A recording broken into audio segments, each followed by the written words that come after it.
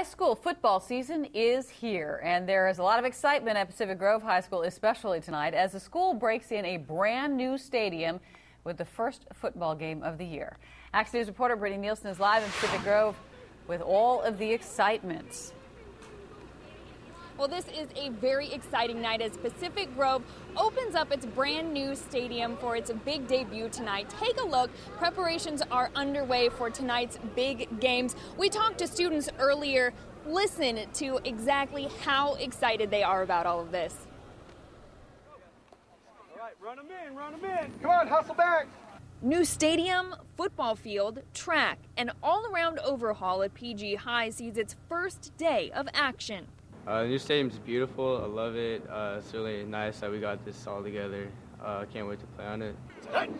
Breaker pride at an all-time high. And I'm excited this year to play on the field and represent PG. It's going to be nice to have a home home field again. You know, a sense of pride.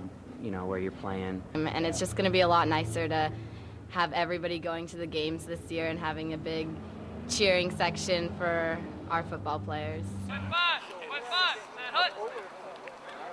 Major improvements for PG High students. Uh, we've got a new sound system and, and, a great snack bar. The snack bar, the grandstand, the, the track, the field, the team room, everything's just so spectacular. And we can tumble on it now, which is really exciting because our team is practicing tumbling. A new stadium and new hopes for a winning season. Feels like you're playing for something, you're defending something. And go Breakers! Well, the varsity game kicks off here tonight at 6:30, so just a few minutes from now. Bring a jacket, come on out here, join us for this very exciting night in PG High history. Dan, oh, Aaron. Friday night football is back across the Central Coast. All right, thank you, Brittany.